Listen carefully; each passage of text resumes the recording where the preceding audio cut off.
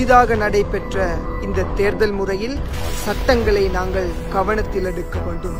நகரசபை தலைவர்தான் இந்த நகரத்தை ஆளப் போகின்றார் அவர்களுக்கான அபிவிருத்திகளை கொண்டு வரப் போகின்றார் அபிவிருத்தி கூட்டங்களில் அவர் அமரப்போகின்றாரே தவிர வட்டாரத்தில் அமரப் போகின்ற வட்டாரத்தில் வெல்லப் போகின்ற யாரும் இந்த கூட்டங்களுக்கு செல்லப் போவதில்லை.